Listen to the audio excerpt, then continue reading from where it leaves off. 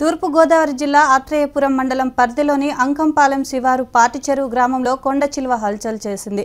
ప్రధాన పంటకాలం మూసివేయడంతో గ్రామస్తులు కొందరు చేపలు పట్టేందుకు వేటకు వెళ్ళారు. సుమారు పదిహేను అడుగుల పొడవు గల కొండ చిలువ గ్రామస్తుల కంటపడింది. దీంతో చేపలు పట్టేవారు కంగారు పడి పరుగులు తీశారు. సుమారు రెండు గంటల పాటు ప్రజలు భయాందోళనకు గురిచేసింది. రైతులు తమ పంట పొలాల వద్ద ఉన్న పశువులను గ్రామంలోకి తరలించుకుపోయారు.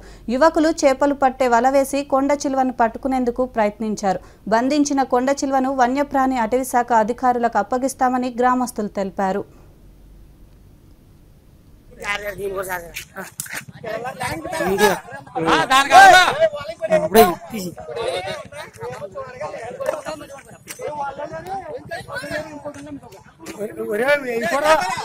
వాళ్ళకి తీసుకుంటా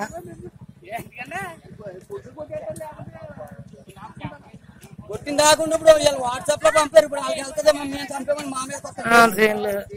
ఆత్మరక్షణకి కోరుకుంటారు మీరు కేసు మామూలు తీసారు సెల్ఫీ